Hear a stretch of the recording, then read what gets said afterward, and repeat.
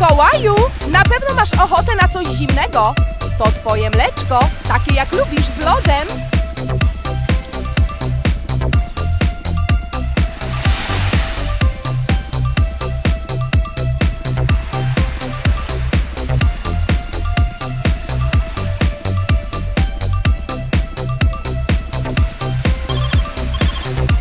Czy ja wszystko muszę robić za ciebie? Spakowałam cię na wakacje.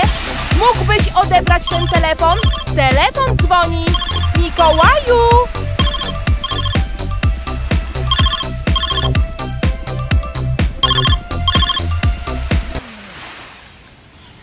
Halo? Dzień dobry. Czy dodzwoniłam się do świętego Mikołaja? Tak. A z kim mam przyjemność?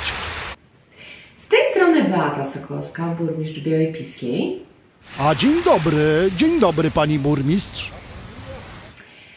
Czy Mikołaj pamięta o obietnicy danej dla naszych dzieci, kiedy był Pan ostatnim razem? Obietnicy? Pierwsze słyszę. Mówił Mikołaj dzieciom, że w tym roku również przyjedzie do naszego miasta. Nie planowałem takiej wizyty. Czyżbym zapomniał? Mm, nie sądzę. Aktualnie razem z panią Mikołajową przebywam na urlopie na Zanzibarze. Ale jak to, panie Mikołaju? Przecież mówił pan, że nasze dzieci są przeurocze, kochane, wspaniałe i obiecał im e, Mikołaj, że przyjedzie do nas ponownie. Naprawdę tak powiedziałem? No cóż, dane słowo jest dla mnie święte. Jeszcze dwa dni leżakowania i pakujemy się, aby zobaczyć się z dzieciakami. Dziękuję, panie Mikołaju. Nie ma za co dziękować.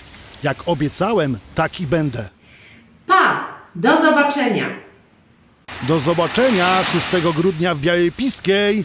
Ho, ho, ho!